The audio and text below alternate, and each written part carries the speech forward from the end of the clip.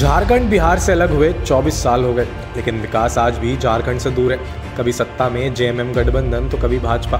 लेकिन झारखंड की सरकारें विकास से ज़्यादा, जातिवाद, घोटाले, भ्रष्टाचार जैसे मुद्दों में घिरती रही है। अब ऐसे में जब झारखंड में विधानसभा का चुनावी साल हो और लोकसभा में भाजपा का नुकसान हुआ हो तो सांसद में हिंदू मुस्लिम आदिवासी का मुद्दा उठना लाजमी है। संसद के मानसून सत्र में भाजपा सांसद ने देश में घटते हिंदू आबादी को लेकर सवाल खड़ा किया। झारखंड से भारतीय जनता पार्टी के सांसद निष्कांत दुबे ने राज्य के कई हिस्से में घटते हिंदू आबादी को लेकर चिंता ज़ाहिर की और सरकार से एनआरसी लागू करने की मांग की। साथ ही उन्होंने पश्चिम बंगाल और बिहार के कुछ जिलों से मुसलमानों के माइग्रेशन और हिंदू गाँवों के खाली होने पर भी चिंता ज़ाहिर की। दुबे ने कहा कि जब झारखंड 2000 में बिहार से अलग हुआ था, तब वहाँ संथाल 36 प्रतिशत थी, जो अब घटकर मात्र 26 परसेंट रह गई है। आखिर 10 परसेंट आदिवासी कहा गए? इस सदन में कोई चर्चा नहीं करता है।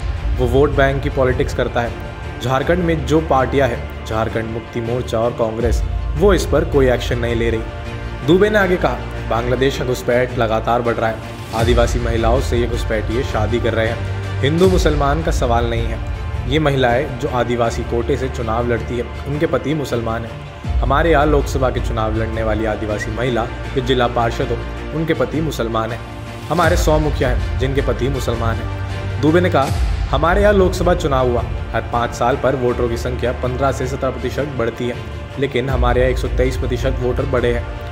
लेकिन हमारे यहाँ एक विधानसभा क्षेत्र है। जिसमें लगभग दो सौ सड़सठ बूथों पर मुसलमानों की आबादी लगभग 117 प्रतिशत बढ़ी है। झारखंड में कम से कम 25 विधानसभा सीट पर 110 से लेकर 123 परसेंट वोटर की संख्या बढ़ गई है। दुबे ने संसद में कहा, झारखंड के पाकुड़तारा नगर इलामी और दागापाड़ा में दंगा हुआ।